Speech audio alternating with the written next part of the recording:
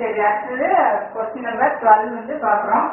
Exercise one point six tenth maths பார்த்துருக்குறோம். யார் given F and G two function given by இது வந்து F இது ஜி நம்ம என்ன கண்டுபிடிக்கணும்னா எஃப் நாட் ஜி வந்து இந்த நாலுல எது பொருத்தமாக இருக்குது அப்படின்னு சொல்லி பார்க்கணும். அப்போ F not G of X நம்ம எப்படி எழுதுவோம்? இந்த ஜியை வந்து உள்ள கொண்டு போய்க்குவோம் இல்லையா? ஜி ஆஃப் எக்ஸ் அப்படின்னு சொல்லி எழுதுவோம். இப்போ நம்ம ஒவ்வொன்றா கண்டுபிடிச்சிடலாம். இங்கே எஸ்னா ஜி இது நம்ம ஃபர்ஸ்ட் என்ன கண்டுபிடிக்கலாம்னா இந்த ஜி இங்க என்ன இருக்கு? ஜீரோ அப்போ இங்க ஜீரோ கண்டுபிடி. So F of G of zero F of G of zero என்ன? டூ ஏற்கனவே சொல்லியிருக்கிறோம். இது ஒரு எலிமெண்ட்னா இது வந்து ஜி ஆஃப் ஜீரோ அப்படின்னு அர்த்தம். இது வந்து ஜி ஆஃப் ஒன்னு இது G of two this one g of minus 4 then this one g of 7 இது நல்லா புரிஞ்சுட்டீங்கன்னா இது வந்து ஈஸியா இருக்கும். அப்ப g of 0 g of 0 என்ன? 2 ன்னு சொல்லிட்டோம். இப்போ f of 2 f of 2 எங்க இருக்கு? இங்க. here. F of 2 f of 2 என்ன? 0 அது இதுக்கு இது எழுதுற மாதிரி இது எல்லாமே நீங்க எழுதலாம். இது வந்து f of 0 then f of 2 and this one uh, f of 3 and uh, this one f of 5 இது 5 னா இது f of 5 இது 4 னா இது சரி uh, f of 3 ன்னு எழுதிக்கலாம் இங்க என்ன வரும்? எதுக்கு ஏழை மார்க் போட்ட? இருக்கு இல்லையா? இதை நான் எழுதின மறந்துச்சுனா இது வந்து f of 4 அதே மாதிரி இது இது 3 னா இது f of 3 இது 2 னா இது f of 2 இது 0 னா இது f of 0 அப்படின்னு சொல்லி அர்த்தம். இது இருக்கிறது எல்லாமே இமேஜஸ் இதெல்லாம் வந்து எலிமெண்ட் அப்படின்னு சொல்லி அர்த்தம். ஸோ எஃப் ஆஃப் டூ என்ன? எஃப் ஆஃப் டூ வந்து ஜீரோ அப்போ இதோட ஆன்சரு ஜீரோ அதே மாதிரி அடுத்து என்ன கண்டுபிடிக்கலாம்? இங்க ஒன்னு ஸோ ஒன் அப்படிங்கிறப்போ இங்க F of G of one equal to F of G of one G of one என்ன? இந்த ஜீரோ இல்லையா ஸோ ஜீரோ இங்கே F of zero F of zero என்ன? ஒன் இங்கே ஜீரோ இருக்கு. இது எஃப் ஆஃப் ஜீரோ அப்போ இது வந்து ஒன்று ஸோ இதுக்குரிய ஆன்சர் வந்து ஒன்று ஸோ ஜீரோ கண்டுபிடிச்சோம் ஒன் கண்டுபிடிச்சோம் அப்போ இதில் பார்த்து நான் அந்த ஆர்டர் சொல்ல ஜீரோ ஒன் வர்றது இந்த ரெண்டு தான். இந்த ரெண்டுல எது நிற்கணும்னு சொல்லி டிசைட் பண்ணணும். அடுத்தது இங்கே எஃப் நாட் ஜி இங்கே அடுத்தது என்ன இருக்கும் நம்ம ஜீரோ எடுத்தா ஒன் எடுத்தா அடுத்தது டூ எடு. ஸோ இந்த இடத்துல two எடுக்கிறப்போ F of G of two so that is equal to F of G of two என்ன?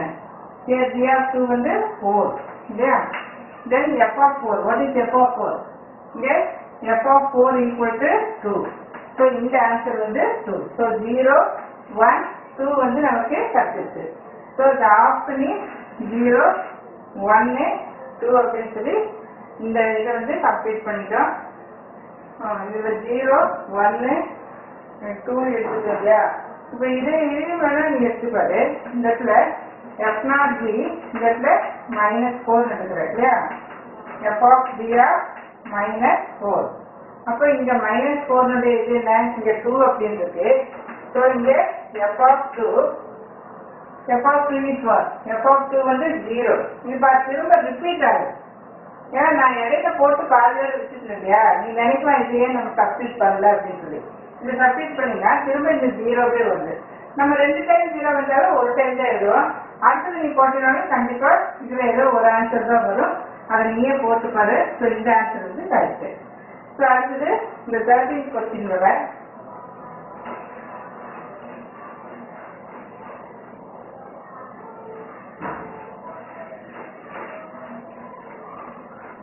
இந்த தேர்ட்டீன் கொஸ்டின்ல என்ன கொடுத்துருக்குன்னா எஃப் ஆஃப் எக்ஸ் வந்து இது is given one plus X square அப்ப எஃப் ஆஃப் ஒய் என்னவா இருக்கும்? அதுவும் root of one plus Y square then F of X Y என்னவா இருக்கும்?